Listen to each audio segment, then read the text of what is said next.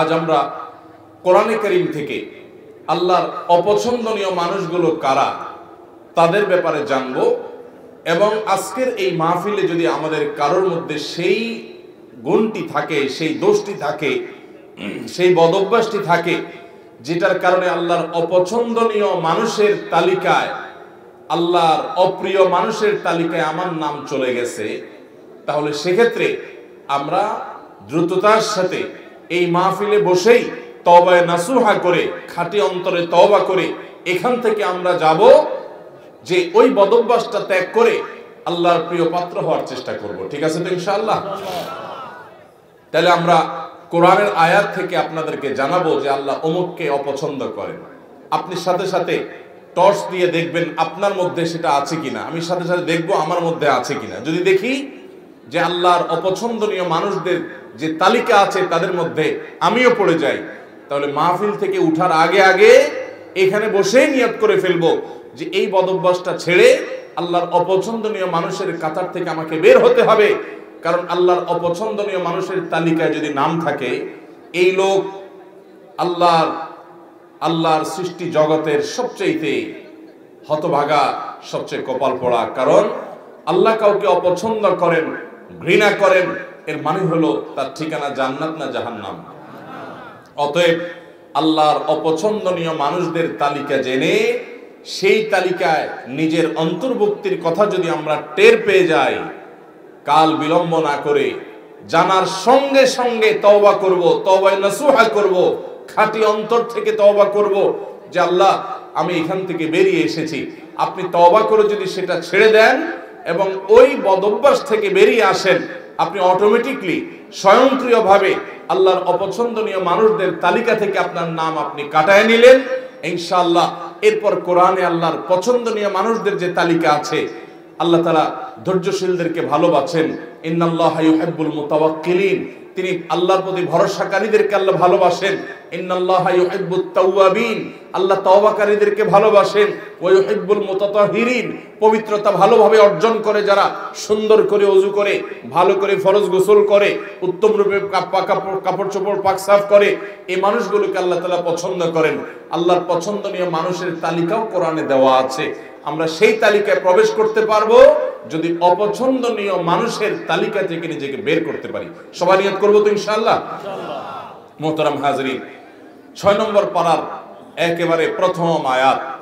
এ আয়াতে আল্লাহ রব্বুল আলমিনের অপছন্দনীয় মানুষদের অপছন্দনীয় কাজের কথা আল্লাহ তালা বলেছেন। সর্বপ্রথমে আমরা সেটিকে বলতে চাই। সেটা কি? সেটা হলো কোনো মন্দ কথা কোনো খারাপ কথা কোনো বাজে কথা এটা যদি কেউ প্রকাশ করে বেড়ায়, এটা যদি বলে বেড়ায়, এটা বলে জাহির যেটা যদি জাহির করে বেড়ায়, এটা যদি ছড়াছড়ি করে বেড়ায়, তো এটা আল্লাহ অপছন্দ করেন। কারণ কোনো খারাপ জিনিস যদি ছড়াছড়ি করা হয়, তাতে সমাজে ভালো হয় না খারাপ হয়? একটা খারাপ জিনিস যখন খুব বেশি ছড়াছড়ি হয়, মানুষ সেটা চর্চা করে, গিবত শেখায়তের মধ্যে ডুবে, পরনিন্দার মধ্যে ডুবে মানুষ ধারণা করে, এক লাইন জানলে তার সাথে আরও এক লাইন যোগ করে আরেকজনের চরিত্র হনন করে।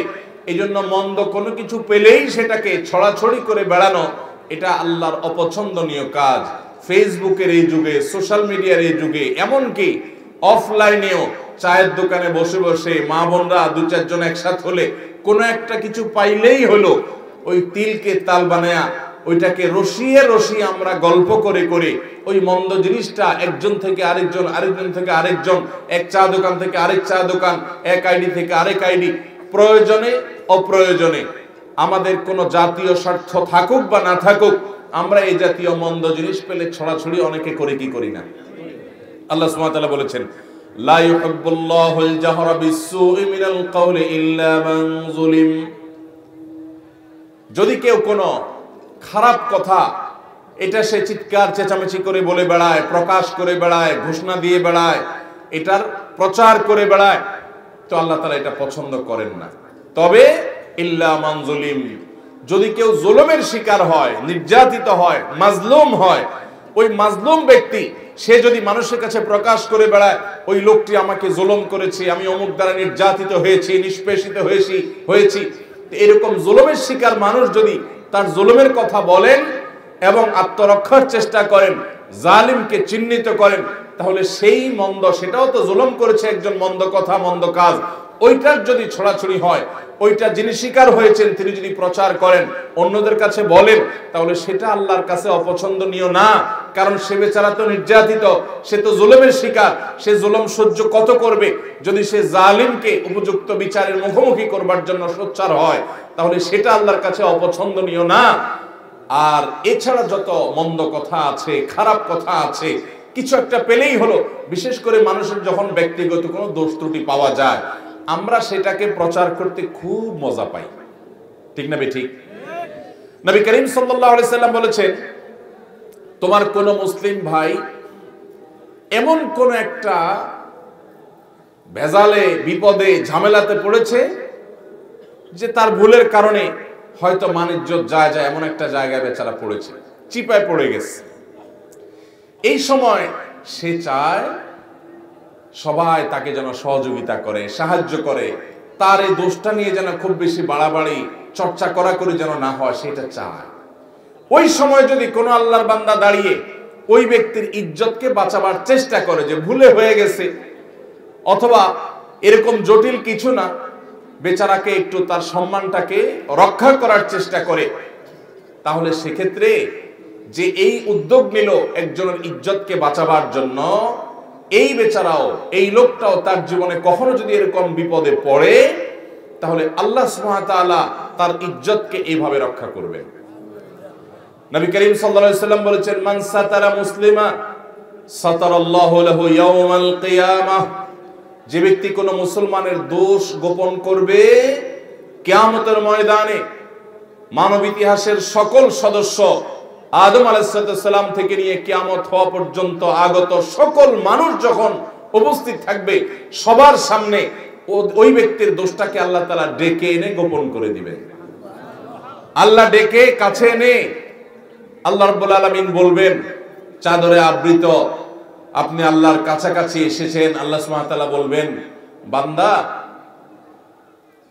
তুমি অমুক অমুক গুনাহ যে করেছ, আতাল করো দাম্বা কাদা ও দাম্বা কাদা তোমার অমুক অমুক পাপ, অমুক অমুক অনাচার, জলম, হারাম কাজ যে করেছ, তোমার কি মনে পড়ে? বান্দা বলবে, আল্লাহ অবশ্যই মনে পড়ে। সব তো প্রমাণ এভিডেন্স সহ আছে আল্লাহর কাছে।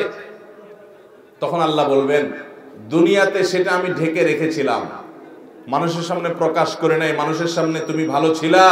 কিন্তু তোমার তলে তলে এই দোষ ছিল, আমি ঢেকে রেখেছিলাম, প্রকাশ করি নাই। আজকেও ঢেকে রাখলাম, প্রকাশ করলাম না, তোমাকে মাফ করে দিলাম।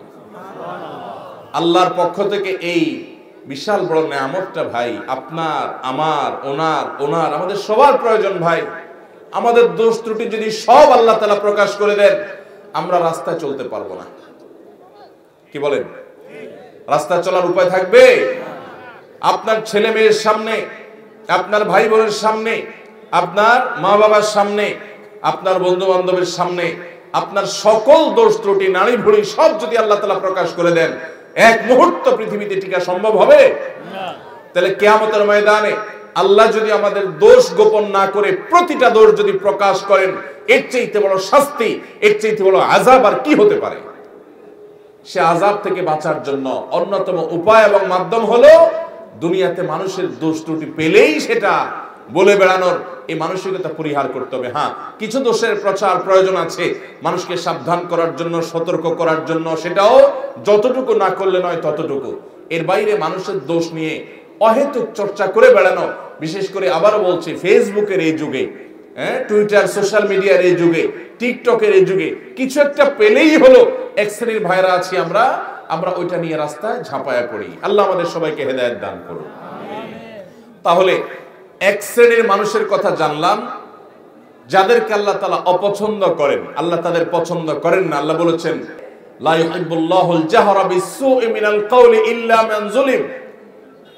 কোন খারাপ কথা এটাকে যে চিৎকার করে বেড়ায়, প্রকাশ করে বেড়ায়, ঘোষণা দিয়ে বেড়ায়, এটাকে আল্লাহ অপছন্দ করেন। তাহলে কোনো খারাপ জিনিসের ছড়াছড়ি করা যাবে? করা যাবে না। আল্লাহ আমাদেরকে এই হারাম কাজ থেকে, এই নাজায়েজ কাজ থেকে, এই গুনাহের কাজ থেকে বেঁচে থাকার তৌফিক দান করুন। যে গুনাহ যত ভয়াবহ, শয়তান ওইটা আমাদের কাছে তত মজাদার করে দেয়। তাহলে একটা জানলাম আমরা, খারাপ জিনিসের ছড়াছড়ি, খারাপ কথা, খারাপ বিষয়, খারাপ ঘটনা, এগুলার অপ্রয়োজনীয়, বিশেষ কোনো স্বার্থ বা যৌক্তিক কারণ ছাড়া ওটার ছড়াছড়ি আল্লাহ তালা পছন্দ করেন না। এক। নাম্বার দুই সীমা লঙ্ঘনকারীকে আল্লাহ তালা পছন্দ করেন না। আল্লাহ বলেছেন আল্লাহ তালা সীমা লঙ্ঘনকারীকে পছন্দ করেন না। ভাইরা আমার সীমা লঙ্ঘনকারী কারা? সীমা লঙ্ঘনকারী হলো ওই ব্যক্তিরা যাদের জন্য আল্লাহ তালা সীমানা ঠিক করে দিয়েছেন, সে সীমানা ক্রস করে চলে যায়। আপনি দেখা দিতে পারবেন অমুক অমুক অমুক অমুক নারীর সাথে, যাদের সাথে আপনার রক্তের সম্পর্ক আছে। নিজের স্ত্রী ছাড়া তাদের সাথে আপনি দেখা দিতে পারবেন। এছাড়া আপনার যাদের সাথে দেখা দেওয়া জায়েজ, মাহারাম, তাদের সাথে আপনি দেখা দিতে পারবেন। এটা আল্লাহর সীমানা। এর বাইরে বাকিদের সাথে দেখা দেওয়া যাবে? যাবে না। এটা হলো আল্লাহর সীমানা। এখন যদি সেই সীমানা ক্রস করে আপনি যেই কোনো নারীর ছবি পেলেন, ভিডিও পেলেন, ফুটেজ পেলেন, ফেসবুকে পেলেন, পেপারে পেলেন, ম্যাগাজিনে পেলেন যেখানে পেলেন, রাস্তাঘাটে পেলেন আপনি চান্সে তাকে দেখে নিলেন, মনে মনে হারাম স্বাদ আস্বাদন করলেন, জল্পনা কল্পনা করলেন, তাহলে আল্লাহ যে সীমানা দিয়েছেন, সেই সীমানাটা আমরা ক্রস করলাম কি করলাম না? আল্লাহ যাদের সম্পর্কে, যাদের সাথে দেখা দেওয়াকে জায়েজ করেছেন, তাদের গন্ডি ওভারটেক করে যাদের সাথে দেখা দেওয়ার অনুমতি আল্লাহ দেন নাই, আপনি সেখানেও গিয়ে দেখেছেন, তাহলে সীমানা ক্রস করছেন কি করেন নাই? এটা হলো সীমা সীমালঙ্ঘনের সীমা আরও বহু দিক আছে। তাহলে আল্লাহ যেগুলোকে হারাম করেছেন, সেগুলোতে লিপ্ত হলে সেটা হলো সীমা লঙ্ঘন। আমাদের সমাজে কেয়ামতের আগে আরও কত কিছু দেখা যাবে ভাইরা? যারা সীমালঙ্ঘন করে, তারা বরং উল্টা, যারা সীমালঙ্ঘন করে না, তাদেরকে সীমালঙ্ঘনের কথা অনেক সময় বলে। যেমন, আপনি পাবলিক পরিবহনে যাচ্ছেন, একজন যুবক বা দুজন যুবক একসাথে যাচ্ছে, ঝাঁকানাকা গান ফুল ভলিউমে মোবাইলে বাজায় দিয়ে নাচতে নাচতে যাচ্ছে। আপনি যদি বলেন যে, ভাই রে, বাবা রে, এত জোরে গানের আওয়াজ দিয়ে রাখছো, আমার তো অসুবিধা হয় বা আমি গান শুনতে চাই না। তোমরা হয় হেডফোন দিয়ে শুনো, আর না হলে বন্ধ করো, আশপাশে মানুষের ডিস্টার্ব করিও না। আল্লাহ এটাকে হারাম করেছেন, তুমি মুসলমানের সন্তান না, তাহলে তুমি এটা শুনিও না। এটা বলার পর দেখবেন, অনেক যুবক আছে বলবে যে, হুজুর, বেশি বাড়াবাড়ি করা ভালো না। আল্লাহ সীমা লঙ্ঘনকারীরা অপছন্দ করেন। দেখবেন তখন ওয়াজ শুনাই দিবে। আছে না না এরকম লোক? আপনি হারাম কাজ থেকে যখন নিষেধ করবেন, তখন বলবে হুজুররা বেশি বাড়াবাড়ি করে। তো যে ব্যক্তি আল্লাহর সীমানা ক্রস করে চলে গেল, বাড়াবাড়ি তো সে করল, যে নিষেধ করল, সে তো বরং আল্লাহর সীমানা ক্রস করতে নিষেধ করেছে, সে তো বরং সীমার মধ্যে থাকতে চাচ্ছে। অতএব সীমা লঙ্ঘন করা যাবে না, আল্লাহর সীমার মধ্যে থাকতে হবে। ঠিক একইভাবে আল্লাহ যা হালাল করেছেন সেটাও অনেকে হারাম করে। আল্লাহ যা বলেন নাই, নিজে থেকে সেটাও অনেকে বলে। এগুলো সবগুলো সীমা লঙ্ঘনের সামিল। তাহলে দ্বিতীয় প্রকার মানুষ যাদেরকে আল্লাহ অপছন্দ করেন, তারা হলো সীমা লঙ্ঘনকারী আল্লাহ আমাদেরকে সকল প্রকার সীমা লঙ্ঘন থেকে আল্লাহর হদ এবং সীমানাকে অতিক্রম করা থেকে আল্লাহ তালা আমাদেরকে বেঁচে থাকার তৌফিক দান করুন। তাহলে আল্লাহর কোন সীমানা লঙ্ঘন করব না। নাম্বার তিন, যারা খেয়ানত করে আমানত দিলে আমানত রক্ষা করে না, আমানত নষ্ট করে। পাপিষ্ঠ, খারাপ মানুষ গুনাহ করে বেড়ায়, নাজায়েজ কাজ করে বেড়ায়, কোনো ভয় নাই তার অন্তরে। এই মানুষগুলোকেও আল্লাহ তালা পছন্দ করেন না। কোরআনে কারিমে আল্লাহ রাব্বুল আলামিন তাদের সম্পর্কে বলেছেন ইয়ামহাকুল্লাহুর রিবা ওয়া ইউরবিস সাদাকাত। আল্লাহ তাআলা রিবা এটাকে ধ্বংস করবেন, সুদকে ধ্বংস করেন। আর সাদাকাতকে আল্লাহ রাব্বুল আলামিন বাড়িয়ে দেন। আর সকল আল্লাহ তাআলা অবিশ্বাসীকে, কাফিরকে, বেঈমানকে, আল্লাহর প্রতি যাদের ঈমান নাই তাদেরকে এবং পাপিষ্ঠ খারাপ মানুষকে আল্লাহ তাআলা অপছন্দ করেন, তাদেরকে আল্লাহ তাআলা পছন্দ করেন না। আল্লাহ তাআলা আরও বলেছেন, ইন্নাহু, ইন্নাল্লাহা লা ইউহিব্বু মান কানা খাওয়ানান আযীমা। যারা খেয়ানতকারী কথায় কথায় খেয়ানত করে মানুষের সাথে এবং পাপিষ্ঠ অপরাধ করে, কথায় কথায় নাজায়েজ কাজ করে। আল্লাহর ভয় নেই, তার দিল কাঁপে না। এই মানুষগুলোকে আল্লাহ তাআলা অপছন্দ করেন। খেয়ানতকারী আমরা অনেকেই আছি। এমনকি অনেকে আছেন পাঁচক্ত নামাজ পড়েন, আবার খেয়ানতকারী। কীভাবে? আপনার কাছে কেউ কোনো টাকা পয়সা রেখেছে, আপনি সেটা ভেঙে ফেলেছেন। এবার যখন যিনি জমা রেখেছেন, চেয়েছেন দিচ্ছি, দেব করে টালবাহানা করছেন। এই যে আমানত রাখার পরে টাকাটা ভেঙে ফেলেছেন, এটার নাম খেয়ানত। এটার নাম কি? এরকম বহু প্রকারের খেয়ানত আছে। আপনার প্রতিবেশী মেয়ে, তাদের প্রতি আপনি চোখ চুরি করে, আপনি বাঁকা করে তাদের দিকে তাকালেন, তাদের সৌন্দর্য অবলোকন করলেন, চালাকি করে করে দেখলেন, আপনি খেয়ানত করলেন। তিরমিজির হাদিসে আসছে, নবী করিম সাল্লাল্লাহু সাল্লাম বলেছেন, ইদা হাদ্দাসার রাজুলু ফালতাফাতা ফাহিয়া আমানা। কেউ আপনার সাথে কথা বলল, কথা বলার পর আরেক দিক ফিরলো, তাহলে আপনার কাছে বলার পর যদি সে বলে, ভাই, কথাটা কাউকে বলা যাবে না, তাহলে এই কথাটাও আমানত। এই কথাটাও কি? আমানত। আপনি যদি এটা আরেকজনের কাছে বলে বেড়ান, তাহলে খেয়ানত হলো। সেটা আমানতের কি হলো? এরকম আমানতের খেয়ানত আমরা অনেকে করি, কি করি না? ইমানদার কখনো খেয়ানতকারী হতে পারে না। ইমানদার এরকম বিশ্বাসযোগ্য হবে যে পৃথিবী চলে যাবে, ইমানদারের সততা, আদর্শ টলতে পারে না। আজ গোটা দেশে, গোটা দুনিয়াতে এত মুসলমান, কিন্তু বিশ্বস্ত মুসলমান পাওয়া যায়। ভাইরা আমার, আমরা যে নবীর উম্মত, আমরা কি জানি আমাদের প্রিয় নবী সাল্লাল্লাহু সাল্লাম কত বিশ্বস্ত ছিলেন? তিনি নবী হওয়ার আগে মক্কাবাসীর কাছে আলামিন হয়েছেন। কি হয়েছেন? উনি আগে আলামিন হয়েছেন, তারপরে কি হয়েছেন? নবী এবং রাসূল হয়েছেন। কীরকম আল আমিন, কি পরিমাণ বিশ্বস্ত ছিলেন? শুধু একটা ঘটনা বলি। উনি যখন মক্কা থেকে মদিনায় হিজরত করতে চলে যাবেন, এই হিজরতের সফরটা কি তার খুব আরামের, খুব আনন্দের, আনন্দ ভ্রমণ টাইপ কিছু ছিল? মক্কার মানুষদের, জালিমদের অত্যাচারে অতিষ্ঠ হয়ে টিকতে না পেরে আল্লাহর অনুমতিতে তিনি মক্কা ছেড়ে মদিনায় হিজরত করতে হয়েছে। যেই এলাকার মানুষের জোলমে, তাদের নির্যাতনে, নিষ্পেষণে নিজের মাতৃভূমি ছেড়ে চলে যেতে হয়েছে, ওই মানুষগুলো বেঈমান, অনেক কাফের, অনেক মুশরিকরা, তারা নবী করিম সাল্লামের প্রতি ঈমান আনে নাই, কিন্তু তারা জানতো মক্কার সবচেয়ে নির্ভরযোগ্য সবচেয়ে আস্থার, উপযুক্ত সবচেয়ে বিশ্বস্ত মানুষটা হলো মোহাম্মদ আলাইহি সাল্লাম এই জন্য তাদের দামি দামি সম্পদ, সোনা, গহনা, টাকা, পয়সা, এগুলো তারা মোহাম্মদ সাল্লাহ সাল্লামের কাছে এসে আমানত রেখে যেত তার প্রতি ইমান আনতো না, কিন্তু তাকে জানতো যে দুনিয়া উল্টে গেল তার আদর্শ উল্টিবে না। পৃথিবীর সকল ব্যাংকের চাইতে বিশ্বস্ত ব্যাংক হলো তিনি এই তার কাছে জমা রেখে যেত। নবী করিম সাল্লাহ সাল্লাম হিজরতের সময় আলী রাদিল্লাহ তালাহুকে ডেকে বুঝাই দিয়ে গেলেন যে দেখো রাতের অন্ধকারে আবুবকরকে সাথে নিয়ে আমি তো, উনি তো চলে যাবেন পরিকল্পনা করেছেন। আলিজুল্লাহকে রেখে গেলেন, তুমি তিন দিন মক্কায় থাকবা এবং এই যে জিনিসগুলো আছে, এটা অমুকের এটা অমুকের, এটা তমুকের, এগুলো তাদের কাছে যার যারটা বুঝাই দিবা। এই লোকগুলার জলমে অতিষ্ঠ হয়ে মক্কা পার হয়ে যাচ্ছেন, কিন্তু ওই সময়টাতে পর্যন্ত তাদের রেখে যাওয়া আমানতটা তাদের কাছে পৌঁছানোর ব্যবস্থা করতে তিনি ভুলেন নাই। এর নাম হলো মোহাম্মদ সাল্লাহ আজ আমাদের অবস্থা কি বলেন? দোকান থেকে বাকি খেলে ওই দোকানের সামনে দিয়ে আর হাঁটি না। অন্য দোকান থেকে নগদ খাই, ওই দোকানের ধারে কাছেও যাই না। এ হলো আমাদের ইমানের অবস্থা, এ হলো আমাদের বিশ্বাসের অবস্থা, এ হলো আমাদের আস্থার অবস্থা।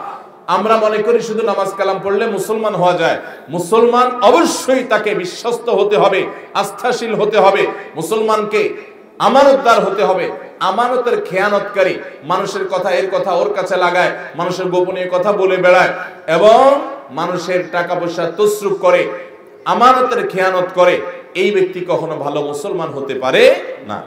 এই জন্য ভাইরা আমার তৃতীয়ত, আল্লাহর কাছে অপ্রিয় ব্যক্তি হলো আমানতের খেয়ানতকারী ব্যক্তি এবং যত পাপাচার আছে এগুলোতে লিপ্ত ব্যক্তি। চার নম্বর, জালিম, অত্যাচারী, অবিচারী। আল্লাহ তালা তাদের সম্পর্কে বলেছেন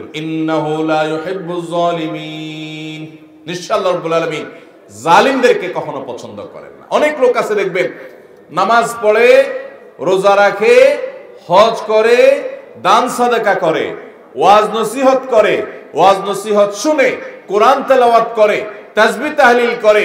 অনেক মহিলারা মা বোনরা আছেন, তারা পর্দা পুশিদাও করে, কিন্তু আবার অন্যের প্রতি জুলুমও করে। আছে না নাই?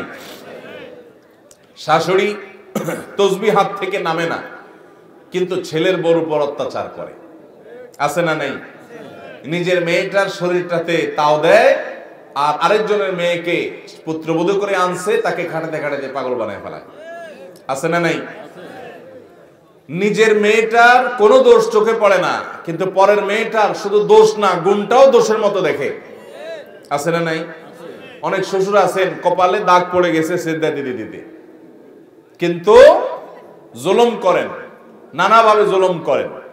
জমিতে যখন তিনি চাষাবাদ করতে যান আরেকজন আইল ঠেলেন জমি বাড়ান। আছে না নাই? ভাইরা আমার, অনেক ভাইরা আছি আমরা, দুর্বল পেলে, গরিব মানুষ পেলে, তাদের উপরে চড়াও হই, তাদের উপরে অত্যাচার করি, তাদের হক নষ্ট করি, তাদের উপরে জুলুম করি। মনে রাখবেন জুলুম এত ভয়াবহ অপরাধ, এত ভয়াবহ অপরাধ। কেয়ামতের ময়দানে কোন চতুষ্পদ জন্তু, তারা কি আমাদের মতো তাদের আমলের কোনো হিসাব নিকাশ হবে? গরু, ছাগল, হাঁস, মুরগি, যত রকমের আল্লাহর সৃষ্টি আছে, মানুষ ছাড়া, জিন ছাড়া, তাদের কোনো হিসাব নিকাশ হবে? আল্লাহ তালা হাঁস, মুরগিকে বলবেন যে, কি পরিমাণ খাইছো, হালাল খাইছো না হারাম খাইছো, হিসাব দিয়ে যাও। এরকম কোনো কথা আছে করোনা দিছে হাঁস, মুরগি যদি আরেকজনের ঘরে যায়া তার প্লেট থেকে ভাত খেয়ে চলে আসে। কেমতের ময়দানে আল্লাহ তাদেরকে জাহান্নামের শাস্তি দিবেন, এমন কোনো কথা আছে? কারণ তাদের এইসব হিসাব নিকাশ নাই, এগুলো হবে মানুষের। কিন্তু ভাইরা আমার, জোলম এরকম একটা অপরাধ, এরকম একটা গুণা জীবজন্তু, পশু পাখিরাও যদি একজন আরেকজনের প্রতি জুলুম করে, কেয়ামতের ময়দানে শুধু ওই একটা অপরাধের বিচার তাদের হবে। নবী করিম সাল্লা সাল্লাম বলেছেন সিং বিশিষ্ট কোন প্রাণী ধরুন একটা গরু, সে সিং নাই এমন একটা প্রাণীকে যদি গুতা মারে, অর্থাৎ অত্যাচার, অবিচার করে, দুর্বল যে তার প্রতি, কেয়ামতের ময়দানে আল্লাহ তালা ওই দুর্বলকে সিং দিবেন, অর্থাৎ শক্তি দিবেন, দিয়ে বলবেন যে এবার তুমি ওই সবল যে তোমার প্রতি জুলুম করেছিল দুনিয়াতে তুমি তার প্রতিকার, তার বিহিত করতে পারো নাই, বিচার পাও নাই, আজকে তুমি তার প্রতিশোধ গ্রহণ করো। একই মাপের গুতা তাকে মেরে তার শাস্তি, তার প্রায়শ্চিত্ত তুমি নিশ্চিত করো। বুঝিয়ে দাও, তাদেরকে সৃষ্টি করবেন আবার আল্লাহ তালা পশু পাখি এমনিতেও মৃত্যুর পর মাটির সাথে মিশে যাবে, কিন্তু যারা জুলম করেছে, ওই পশু পাখিগুলোকে, ওই প্রাণীগুলোকে আল্লাহ তালা আবার জীবিত করবেন। জালেম কেউ, মাজলুম কেউ, যে জুলম করেছে তাকেও, যার প্রতি জুলুম করা হয়েছে তাকেও। এরপরে ওই প্রাণীদের মধ্যে পর্যন্ত যে নির্যাতিত হয়েছে, তাকে দিয়ে আল্লাহ তালা জালিম এবং নির্যাতনকারী, অবিচারকারী, অত্যাচারী ওই প্রাণীটিকে পর্যন্ত আল্লাহ তালা শাস্তি দিবেন। এরপরে বলবেন, কোন তোরাবা, যাও তোমরা মাটি হয়ে যাও। এবার মাটির সাথে তারা মিশে যাবে। তাদের না জান্নাত আছে, না জাহান্নাম আছে। ভাইরা আমার, জুলুম এত ভয়াবহ অপরাধ, এত ডেঞ্জারাস বিষয় যে আল্লাহ সুবহান পশু পাখিদের কোনো হালাল হারামের বাজ বিচার করবেন না। তাদের অন্য কোনো বিষয়ের কোনো হিসাব নিকাশ নেবেন না। কিন্তু তারাও যদি জুলুম করে, আল্লাহ আলামিন এইভাবে পাকড়াও করবেন। তাহলে মানুষ হয়ে যদি আপনি কারোর প্রতি জুলুম করেন, কার প্রতি অবিচার করেন, কার প্রতি অত্যাচার করেন, আপনি নিশ্চিত থাকেন, আপনি যত ইবাদত বন্দেগী করেন, আপনি যত তাসবিহ তাহলিল করেন, আপনি যত ওয়াজ মাহফিল শোনেন, আপনি যত লম্বা লম্বা কথা বলেন, আপনি যত নেকামল করেন না কেন, জালিম এবং অত্যাচারীর অত্যাচার, অবিচারের বিচার হওয়া ছাড়া আল্লাহ তালা একটি কদম কিয়ামতের ময়দানের সামনে যেতে দিবেন না। ভাইরা আমার, নবী করিম আলাইহি সাল্লাম বলেছেন, সেদিন আসার আগে নিজেদের মধ্যকার দেনা পানা কাউকে জুলুম করেছ, কাউকে গালি দিয়েছ, কারোর প্রতি অবিচার করেছ, এগুলোর বিচার, এগুলোর বিহিত, এগুলোর ক্ষমা চাওয়া, এগুলো সব ঝামেলা চুকায় নাও সেদিন আসার আগে। দিন কেউ কারোর কোনো উপকারে আসবে না, কেউ কাউকে ছাড় দিবে না। ভাইরা আমার, নবী করিম সাল্লাম সাহাবীদেরকে জিজ্ঞাসা করেছেন, আতাদরুনা মানিল মুফলিস? তোমরা কি জানো সবচেয়ে বড় ভিখারি সাহাবীরা বললেন, আল মুফলিসু ফিনা মাল্লা দিনার আল্লাহু ওয়ালা দিরহামা। হে আল্লাহর রাসূল, যার কোনো টাকাও নাই, পয়সাও নাই, আমরা জানি সেই সবচেয়ে ভিখারি, সেই সবচেয়ে হতভাগা। নবীজি সাল্লাল্লাহু আলাইহি সাল্লাম বলেছেন, সে সবচেয়ে বড় হতভাগা না রে? আসল হতভাগা, এর চাইতে বড় হতভাগা হলো যে দুনিয়াতে অনেক নামাজ কালাম পড়েছে, অনেক কোরআন খতম করেছে, অনেক রোজা রেখেছে, অনেক দান সাদাকা করেছে, অনেক ওয়াজ মাহফিলে হাজির হয়েছে অনেক ওয়াজ মাহফিল শুনেছে, অনেক ওয়াজ মাহফিলের ভলেন্টিয়ারি করেছে, অনেক ওয়াজ মাহফিলে টাকা পয়সা দিয়েছে, অনেক অনেক ভালো কাজ করেছে, বাবা মার কথা শুনেছে, অনেক ভালো কাজ করেছে। কিন্তু সে কাউকে জুলুম করেছে কেউ কাউকে গালি দিয়েছে, সে কাউকে ধাক্কা দিয়েছে, কারও হক মেরেছে কারও টাকা মেরেছে, জুলুম করেছে। কেয়ামতের ময়দানে সকল পাওনাদার হাজির হবে। একজন একজন করে সবার পাওনার বিচার আল্লাহ করবে এবং ওই দিন তার তো আর টাকা পয়সা দেওয়ার মতো থাকবে না। ওই পশু পাখিদের মতো আল্লাহ তালা বলবে, না তুমিও একটা ধাক্কা দিয়ে দাও। আল্লাহ তালা তার নেকামল যেগুলো কষ্ট করে সে আনছে, ওইগুলো পাওনাদারকে দিয়ে বুঝে বিদায় করবেন। এভাবে দিতে দিতে তার নেকামল শেষ হবে, পাওনাদার শেষ হবে না। এবার পাওনাদারদের পাপের বোঝা তার মাথায় দিয়ে তারপর তাকে জাহান নামে নিক্ষেপ করবেন। অনেক আমল করে, অনেক আমলের পাহাড় নিয়ে হাজির হওয়ার পরও এরকম খালি হাতে জাহান নামে অন্যদের আজাব অন্যদের গুনাহের বোঝা নিয়ে মাথায় জাহান নামে যারা যাবে, নবী সাল্লাহ সাল্লাম বলেছেন, এরা হলো সৃষ্টি জগতের সবচেয়ে হতভাগা সবচেয়ে কপাল পোড়া সবচেয়ে ভিখারি সবচেয়ে অভাবী। এ রিক্ত, এরকম অসহায় মানুষগুলো তারাই হবে যারা দুনিয়াতে জুলম করে, জুলমের বিহিত করা ছাড়া দুনিয়া থেকে গেছে। আল্লাহ তালা আমাদেরকে জুলম থেকে বেঁচে থাকার তৌফিক দান করুন।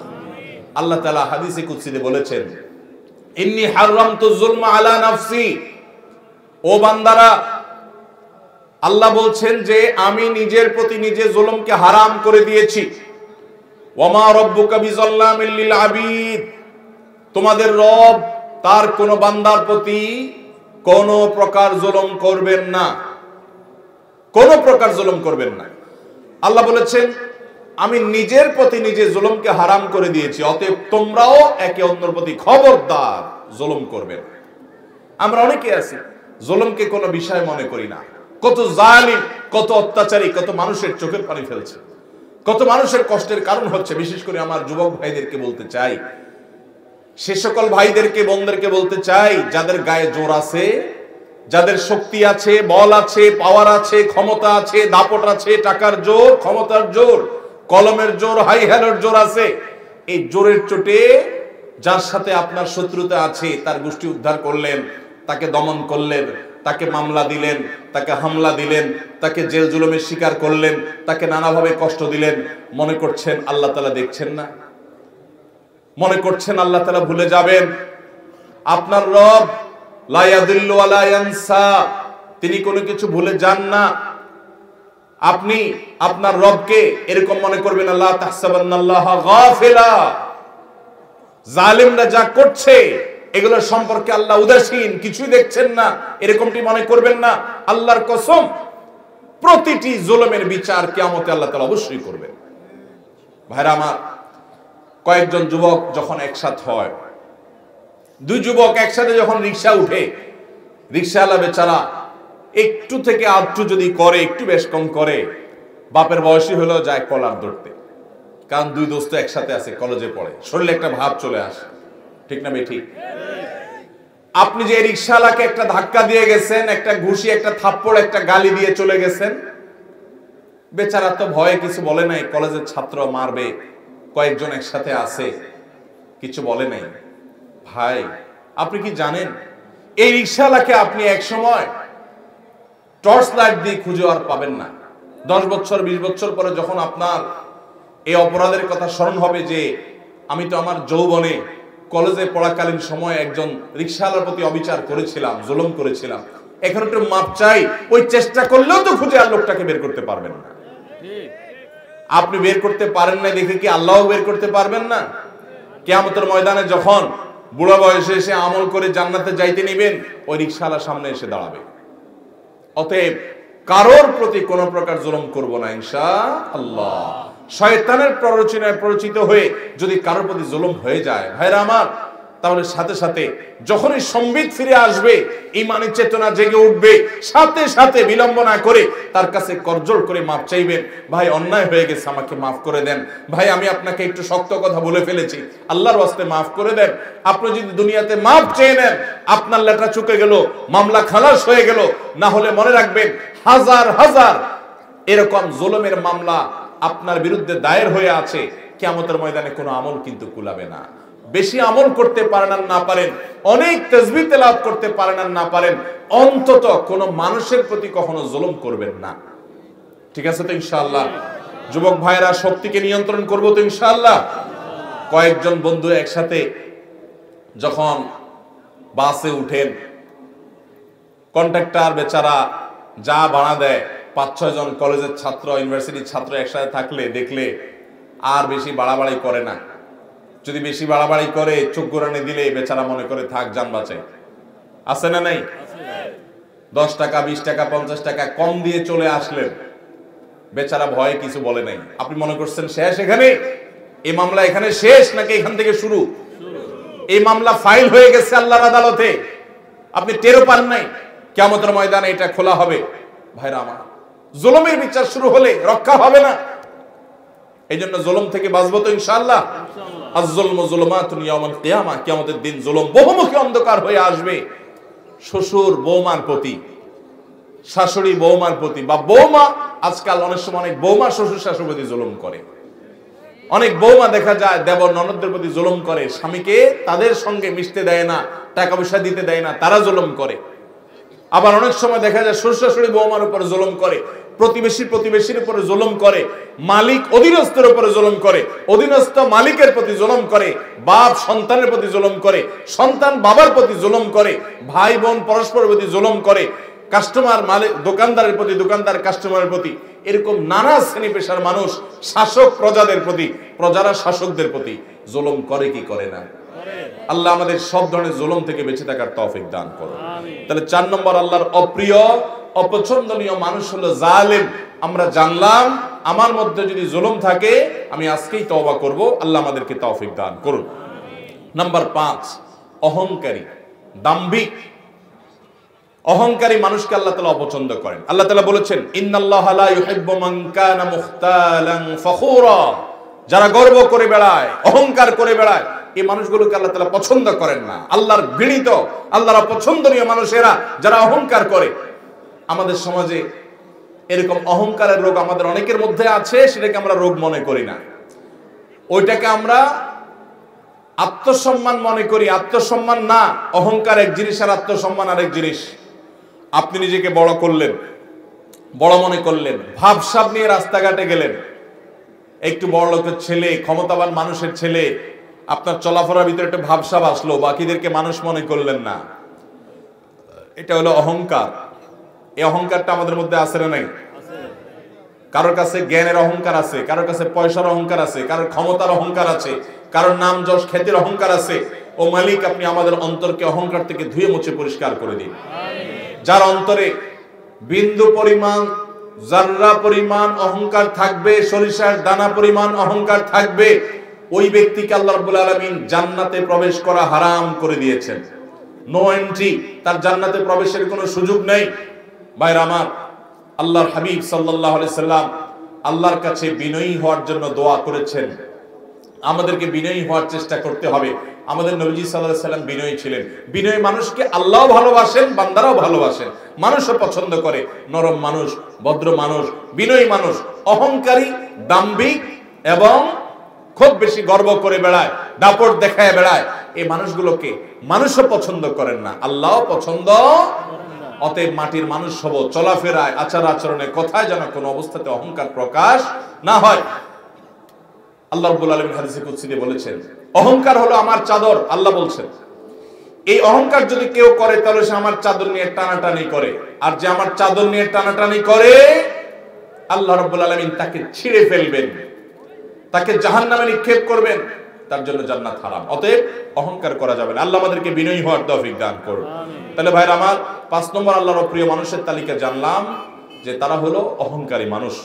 ছয় নম্বর হলো যারা সমাজে ফাসাদ সৃষ্টি করে ফাসাদ সৃষ্টি করে ফাসাদের মধ্যে সবচেয়ে বড় ফাসাদ অনেক মুফাসসিরদের মতে কাবিরা গুনাহ যারা লিপ্ত হয় শিরকে যারা লিপ্ত হয় শিরক করে এটা বড় ফাসাদ।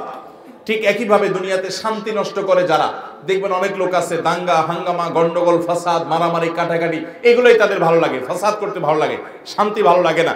আল্লাহ বলেছেন, ইন্নাল্লাহ লা ইউহিব্বুল মুফসিদিন। আল্লাহ তাআলা ফিতনা এবং ফাসাদকারী মানুষকে পছন্দ করেন না। এটা হলো ছয় প্রকারের মানুষ, ছয় নম্বর প্রকার। সাত নম্বর হলো, ওই সমস্ত মানুষগুলো যারা অহমিকা দেখায়, অহংকার করে, আগে যে ফখর করে, গৌরব করে, বড়াই করে বেড়ায়, তাদেরই মতোই সেটারই আপনার আল্লাহ রাব্বুল আলামিন ভিন্নভাবে প্রকাশ করেছেন। ইন্নাহু লা ইউহিব্বুল মুস্তাকবিরিন। যারা ইস্তেকবার করে, যারা সত্যকে অস্বীকার করে অহমিকা বশত মানতে চায় না, আল্লাহ তাআলা তাদেরকে পছন্দ করেন না। আট নম্বর হলো, যারা দুনিয়া পেয়ে এত খুশি হয়ে যায় যে মনে হচ্ছে সে জান্নাত হাতের কাছে পেয়ে গেছে। মানে দুনিয়াদার যখন খুব মারাত্মক পর্যায়ের হয়, তখন দুনিয়া পেলেই সে শুধু খুশি হয়। বাস। তার কাছে আখেরাতের কোনো দাম নাই। মনে রাখবেন, দুনিয়ার কোনো নেয়ামত পেলে খুশি হওয়াটা দোষের না। কিন্তু আনন্দে আত্মহারা হয়ে গেলেন, এটার মানে হলো আপনার অন্তরে দুনিয়া ভরে গেছে। কথা কি বুঝাতে পারছি? অনেক লোক আছে দেখবেন, যে দুনিয়ার কোনো অর্জন হলে খুশিতে একদম বাঘ বা সে লাফালাফি, মনে হচ্ছে জান্নাত পেয়ে গেছে। আবার দুনিয়ার যদি কোনো ক্ষতি হয়ে যায়, সে এমন ভাবে ভেঙে পড়ে, মনে হচ্ছে তার সব শেষ হয়ে গেছে। এটা কোনো মুসলমানের চরিত্র না। ইমানদারের চরিত্র হলো, দুনিয়া অর্জন হচ্ছে, আলহামদুলিল্লাহ শুকর আদায় করলাম। এত আহামরি খুশির কিছু নাই, কারণ আমি তো এখনও জান্নাত পেয়ে যাইনি। ঠিক না ঠিক আমি যে খুশি হয়েছি, এই খুশি হওয়াটা আমার ষোলো কলায় পরিপূর্ণ হতো, এই খুশি হওয়াটা আমার পূর্ণতা পেত, যদি আল্লাহ আমাকে জান্নাতের ঘোষণা দিতেন। কোরআনে আল্লাহ বলেছেন, ফামান যুহজিহা নারি ওয়া উদখিলাল জান্নাতা ফাকাদ ফাজ। যাদেরকে জাহান্নাম থেকে আস্তে আস্তে দূরে সরানো হবে, আর কেয়ামতের দিন জাহান্নাম থেকে তাকে মুক্ত ঘোষণা করা হবে, জান্নাতে যখন প্রবেশ করানো হবে, এই ব্যক্তি আসল সাকসেস আসল সফল হয়ে গেল। তার এই সফলতা আর কখনো ব্যর্থতায় পর্যবসিত হবে না। এই হলো আসল সাকসেস এবং সফল মানুষ। বাইরে আমার, সেই সফল, সেই সার্থক মানুষ আমাদেরকে হতে হবে এবং তার জন্য চেষ্টা করতে হবে। এই জন্য ইমানদারের সুখী হওয়ার একটা গুরুত্বপূর্ণ টনিক হলো এটা যে ইমানদার কোনো অর্জনে খুব বেশি আত্মহারা হতে যাবে না। আনন্দ করবে, আনন্দ আত্মহারা হবে না। আবার কোনো ক্ষতিতে কষ্ট হতে পারে, মানুষ হিসাবে কষ্ট হওয়াটা স্বাভাবিক, কিন্তু কষ্টের চোটে ভেঙে পড়বে না। কথা কি বুঝাতে পারছি?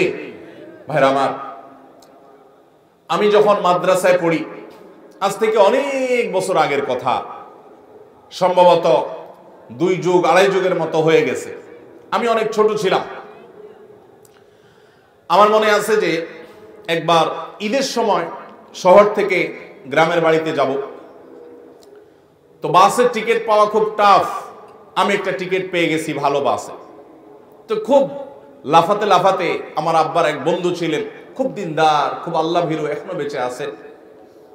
আমার সে চাচার কাছে এসে খুব আনন্দ জাহির করতে করতে একটু বেশি আনন্দ করছিলাম। ছাত্র মানুষ যে, চাচা, আমি তো টিকিট পেয়ে গেছি।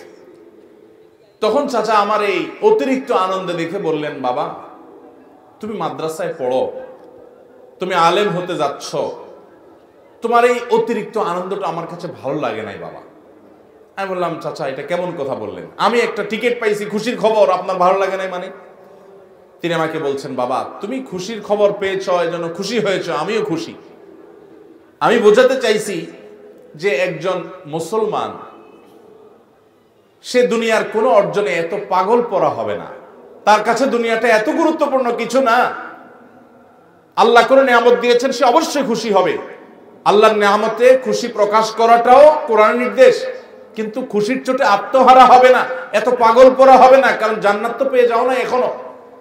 তুমি টিকিট পেয়েছ, যদি জান্নাত তোমার আল্লাহ তালা না দেন, আল্লাহ না করুন, জাহান্নাম দেন। তাহলে তোমার খুশির দুই পয়সা কোনো দাম আছে? এত আত্মহারা হওয়া, এটা তোমার ইমানের সাথে যায় না বাবা। ঠিক একইভাবে আমাদের সমাজে অনেক মানুষ আছি আমরা। একটু বিপদ আপদ হলে আমরা ভেঙে পড়ি, একদম স্যাড ব্যাড মানে আমরা একেবারে মনে হয় যে আমি শেষ। ইমানদার মনে রাখবে, আমার যদি সব হারিয়ে যায়, সব হারিয়ে যায়, আর বিনিময় আল্লাহ তালা যদি আমার জন্য জান্নাতটা রাখেন ব্যবসা লাভের না লসের?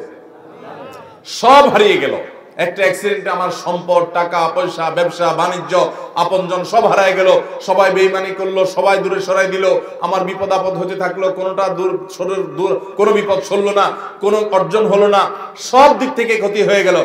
দুনিয়ার সব সম্পদ, সব ইজ্জত, সব চলে যাওয়ার বিনিময়ে যদি আল্লাহ বলেন, বান্দা, তোমাকে আমি জান্নাতটা দিয়ে দিলাম। লাভ হলো না লস হলো? পঞ্চাশ ষাট বছরের কষ্টের বিনিময়ে যদি অনন্ত কালের অসীম কালের জন্য চির সুখের ঠিকানা আমার নিশ্চিত হয়ে যায়, তাহলে আমার লাভ হলো না লস হলো? এই জন্য ইমানদার কোন দুঃখে, কোন বেদনায় একেবারে ভেঙে পড়বে, এটা তার ইমানের সাথে যায় না, এটা বেঈমানের চরিত্র হতে পারে। ইমানদার সবর করবে আর যে কোনো ভালো কাজে আল্লাহ শুকর আদায় করবে, খুশি হবে, কিন্তু আত্মহারা পাগল হবে না।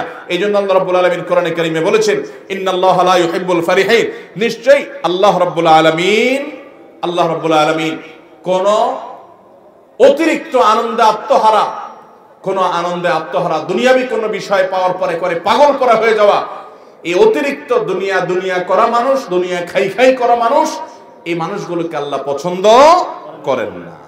অতএব ভাইরা আমার, আমরা আল্লাহ রব্বুল আলমিনের কাছে আমরা পানা চাইব, আল্লাহ যেন আমাদেরকে এরকম দুনিয়ার মধ্যে ডুবায় না রাখেন। আজ আজ যে পৃথিবীতে আমরা বসবাস করছি।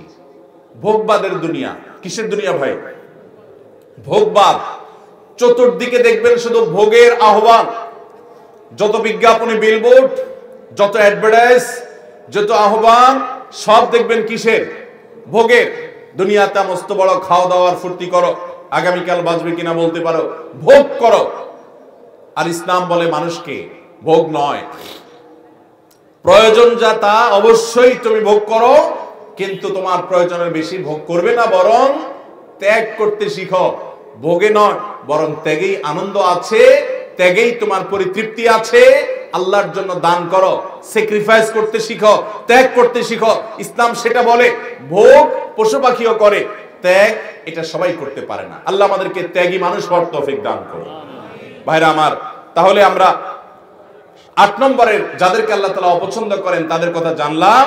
সে মানুষগুলো হলো দুনিয়ায় যারা আত্মহারা হয়ে যায়। আত্মহারা হয়ে যাওয়া, এটা এখন কমন একটা বিষয় হয়ে গেছে। নামাজ কালাম পড়ি, ওয়াজও শুনি, সবই ঠিক আছে, কিন্তু পয়সাটা, পয়সা ছাড়া আর কিছু বুঝি না। পয়সা ছাড়া, দুনিয়া ছাড়া আর কিছু বুঝি না।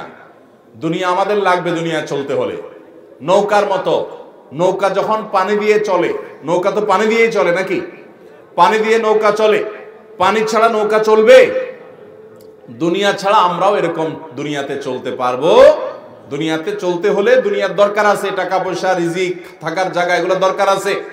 কিন্তু যদি সেগুলো আমাদের ভেতরে ঢুকে পড়ে, একদম আমরা দুনিয়ার ভেতরেই ডুব দিয়ে যাই, দুনিয়া ছাড়া কিছু না বুঝি, সারাদিন শুধু দুনিয়া দুনিয়া করি, তাহলে নৌকার ভিতরে পানি ঢুকার মতো হয়ে যাবে। ওই নৌকা অ্যাক্সিডেন্ট করবে, ডুবে যাবে, আমরা দুনিয়ার ভিতরে ডুবে যাব, আজকে সে অবস্থা হয়েছে। আল্লাহ আমাদের সবাইকে আখেরাতমুখী হওয়ার তৌফিক দান করুন। আমাদের পূর্বসূরীদের দুনিয়া বিমুখতার ঘটনা বলি এবং ইতিহাসগুলো জানার চেষ্টা করবেন। সালাফের পূর্বসূরীদের কীভাবে দুনিয়া বিমুখতা জানার চেষ্টা করবেন। নবী করিম সাল্লাল্লাহু আলাইহি ওয়াসাল্লাম তিনি বলেছেন, দুনিয়া এবং দুনিয়াতে যা কিছু আছে, সারা পৃথিবীর সকল নেয়ামত, সকল নেয়ামতের উপকরণ, ভোগের উপকরণের সবগুলো মিলে আল্লাহর কাছে যদি একটা মাছির ডানা পরিমাণ মূল্যবানও হতো তো আল্লাহর প্রতি বেঈমান, কোন কাফের, কোন মোশেক আল্লাহর কোন অবাধ্য নাফরমানকে আল্লাহ রাব্বুল এক যোগ পানীয় দুনিয়া থেকে পান করতে দিতেন না। এক যোগ পানীয় পান করতে দিতেন না। যদি দুনিয়ার দাম আল্লাহ তার কাছে, আল্লাহর কাছে একটা মাছির ডানার পরিমাণ হতো, এতটুকু দামও নাই। এটা মৃত্যুর আগে টের পাওয়া যাবে না। আল্লাহ আমাকে আপনাকে আমাদের বুঝার তৌফিক দান করুন। দুনিয়ার মোহ আমাদের অন্তর থেকে আল্লাহ তালা বের করার তৌফিক দান করুন। গোটা পৃথিবীতে মুসলমানরা আজ লাঞ্ছিত, বঞ্চিত হওয়ার অন্যতম একটা কারণ এটাও যে মুসলমানরা আজ দুনিয়ার ভিতরে হাবুডুবু খেয়েছে। নবী করিম আলাইহি সাল্লাম তার এক হাদিসে বলেছেন যে একটা সময় আসবে যে খাবার সামনে নিয়ে যেরকম কাফিররা, খাবার সামনে নিয়ে যেরকম খাদকরা টানাটানি করে, ভাগযোগ করে খেয়ে ফেলে, তোমরা মুসলমানরা দুনিয়াতে তোমাদেরকে অমুসলমানরা কাফেররা ভাগযোগ করে খাবে, লুটপাট করে জুলুম করবে কাশ্মীরের লোকদেরকে জুলুম করবে এক গ্রুপ, ইরাকের মুসলমানদেরকে জুলুম করবে আরেক গ্রুপ ফিলিস্তিনি মুসলমানদেরকে জুলুম করবে আরেক গ্রুপ এক এক দেশের মুসলমানদেরকে জুলুম করার জন্য এক এক গ্রুপ ভাগযোগ করে নিবে। খাদকরা খাবার যেরকম টেনে ছিঁড়ে একজন আরেকজনে এক একটা নিয়ে আরেকজনকে আরেকটা দিয়ে তারা এরকম খায়, ঝাপায় পড়ে, তোমাদের উপর এরকম ঝাপায় পড়বে। সাবা একরাম বলেছিলেন, ইয়া রাসূলুল্লাহ, সেদিন আমাদের সংখ্যা কম হবে, সেজন্য নবীজি বলেছেন, না, লা, বাল আনতুম। ইয়াউমা ইদিন কাসীর, তোমরা সেদিন অনেক থাকবে। ওয়ালাকিন্নাকুম গুসাউন কাগুসা ইসাইল কিন্তু পানির উপরে, বানের পানিতে যেরকম খড়কুটা ভাসে, তোমাদের দাম সেরকম হবে। অমুসলিমদের অন্তর থেকে তোমাদের ভয় তুলে দেওয়া হবে। সেটা কি কারণে হবে? নবী করিম আলাইহি সাল্লাম বলেছেন দুনিয়া ওয়া কারাহিয়াতুল মউত তোমরা মরণকে ভয় করবে। মুসলমান মরণকে এত ভয় করবে না। মৃত্যু হলে তো আমার আল্লাহর সাথে সাক্ষাতের সৌভাগ্য হবে। এবং দুনিয়ার মোহ তোমাদের ভিতরে এমন ভাবে ঢুকে পড়বে যে তোমাদের অবস্থা এরকম হবে। মুসলমান যেদিন দুনিয়ার মোহকে ছুঁড়ে ফেলতে পারবে, সেদিন মুসলমান আবারও দুনিয়াকে জয় করবে। সাহাবা একরাম তাদের সামনে বিভিন্ন সম্রাটদের স্বর্ণখচিত রাজমুকুট মসজিদের নবীর সামনে এসে ফেলে, এনে ফেলে রাখা হতো। সাহাবা একরাম দেখে দেশের সাথে, ঠাট্টার সাথে তাকাতেন, উষ্ঠা মারতেন, ওইটাকে দাম দিতেন না। কারণ তারা জানতেন দিন শেষে এটা দুনিয়া, এর একটা শেষ আছে। মুসলমানের দৃষ্টি তো অনেক গভীরে, অনেক দূরে। সে তো জান্নাত পর্যন্ত দেখে, দুনিয়ার সামান্য নজর না।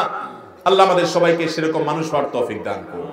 সেই জন্য সাহাবিরা গোটা দুনিয়া শাসন করেছেন, গোটা দুনিয়া তাদের পদতলে এসেছে। আজ দুনিয়া খাই খাই করে দেখে আল্লাহ মুখিতার বিপরীতে আখেরাত মুখিতার বিপরীতে দুনিয়া মুখিতা আজ আমাদেরকে গ্রাস করে ফেলেছে। এজন্য কাফের মোর্শেকরা গোটা পৃথিবীকে ভোগবাদী করে তোলার অপচেষ্টা লিপ্ত। তারা জানে মুসলমানদেরকে ভোগবাদী করতে পারলে মুসলমানদেরকে প্রধানত করা যাবে। হয়েছেও তাই। এজন্য দুনিয়া, অন্তর থেকে দুনিয়ার মোহকে আমাদেরকে বের করতে হবে। আল্লাহ তাআলা সেজন্য বলেছেন, ইন্নাল্লাহ লা ইউহিব্বুল ফারিহিন। অতিরিক্ত দুনিয়া নিয়ে খুশি হওয়া, অতিরিক্ত দুনিয়ার মোহে নিজে হাবুডুবু খেয়ে দুনিয়ার জন্য পাগল পরা হওয়া মানুষ, এগুলোকে আল্লাহ তালা পছন্দ করেন না। নয় নম্বর, যে মানুষগুলোকে আল্লাহ পছন্দ করেন না, তারা হলো অপচয়কারী। আল্লাহ বলেছেন ইন্নাহুলা মুসরিফিন। অপচয় আমাদের মধ্যে আছে না নাই? অপচয় এখন অনেকেই আমরা করি। আমরা মনে করি যে পয়সা করে কিছু হলেই বোধহয় একটু অপচয় না করলে আমার ধনী এবং বড়লোকগিরি জাহির হয় না। অথচ ইমানদার কখনো অপচয় করতে আল্লাহ তালা কোরআনে কারিমে আমাদেরকে বলেছেন যে আল্লাহর নেককার বান্দাদের বৈশিষ্ট্য এবাদুর রহমানের বৈশিষ্ট্য হলো, ওয়াল্লাযীনা ইযা আনফাকু লাম ইউসরিফু ওয়া লাম ইয়াকতুরু ওয়া কানা বাইনা যালিকা রহমানের বান্দা হলেন তারা, যারা যখন খরচ করে, না অপচয় করে, অপব্যয় করে না তারা কৃপণতা করে। নবী করিম সাল্লাল্লাহু সাল্লাম কৃপণতা থেকে পানা চেয়েছেন, আল্লাহুম্মা ইন্নী আউযু বুখলি আল্লাহ, আপনার কাছ থেকে আমি পানা চাই বখল থেকে, কৃপণতা থেকে। আল্লাহ রাব্বুল আলামিন আমাদেরকে মধ্যম পন্থী হওয়ার তৌফিক দান করুন। ব্যয়ের ক্ষেত্রে মধ্যম পন্থা অবলম্বন করতে হবে। অপচয় করা যাবে না, অপব্যয় করা যাবে না। এরপর দশ নম্বর, যে মানুষগুলোকে আল্লাহ রাব্বুল আলামিন অপছন্দ করেন সেটি এসছে নবী করিম সাল্লাল্লাহু আলাইহি ওয়াসাল্লামের হাদিসে। তিনি বলেছেন, ইন্নাল্লাহা লা ইউহিব্বুল ফাহিশা ওয়াল মুতাফাহহিশ যারা অশ্লীল কথা বলে, অশ্লীল কাজ করে, অশ্লীলতা ছড়াছড়ি করে, বেহায়াপনা করে এই মানুষগুলোকে আল্লাহ তাআলা পছন্দ করেন না। ঠিক একই ভাবে মুতাফাহহিশ সম্পর্কে মুহাদ্দিসরা অনেকে বলেছেন, এর মানে হলো যারা অশ্লীলতা এটা প্রকাশ্যে করে সবার সামনে খুল্লম খোলাভাবে অশ্লীলতা করে, কোন রাগঢাক করা ছাড়া অশ্লীলতা করে, এটাকে পেশা বানিয়ে নিয়েছে, এটাকে নেশা বানিয়ে নিয়েছে। এই মানুষগুলোকে আল্লাহ তালা পছন্দ করেন, আল্লাহ তালা অপছন্দ করেন। বাইরে আমার, বারো নম্বর, আল্লাহ যাদেরকে অপছন্দ করেন, তারা হলেন ওই সমস্ত মানুষেরা যারা ইসবাল করে ইসবাল করে, যারা যারা টাকনুর নিচে পুরুষ হয়ে লুঙ্গি, জুব্বা, চাদর, প্যান্ট, পাজামা এগুলো পরে এই ইসবালকারীদেরকে আল্লাহ তাআলা পছন্দ করেন না। নবী করিম সাল্লাম বলেছেন, ইন্নাল্লাহা লা ইউহিব্বুল নিশ্চয়ই ইসবালকারীকে, অর্থাৎ টাকুন নিচে যে পুরুষরা পোশাক আশাক পরে, এদেরকে আল্লাহ তাআলা পছন্দ করেন না।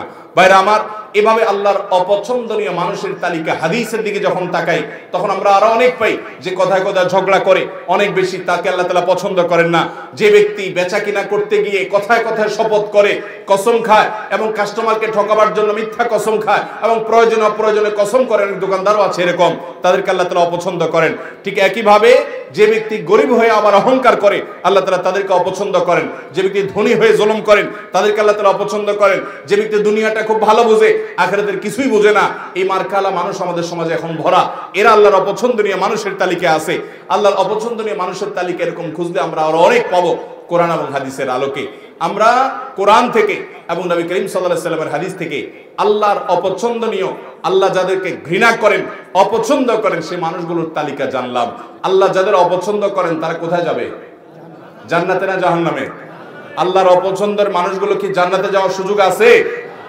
তাহলে আমাদেরকে মন্দ কথার ছড়াছড়ি এটা থেকে বেরিয়ে আসতে হবে। এই গুনাহের কাজ করা যাবে না। এটাকে শিল্পে পরিণত করা হয়েছে আজকাল সোশ্যাল মিডিয়াতে। এবং সীমা লঙ্ঘন করা যাবে না। সীমা লঙ্ঘন কি সেটা আবার বুঝতে হবে। হারাম, হারামকে যদি কেউ ওভারটেক করে যায়, সেটা সীমা লঙ্ঘন। আল্লাহ যা বলেন নাই সেটাও যে বলে সে সীমা লঙ্ঘন করে।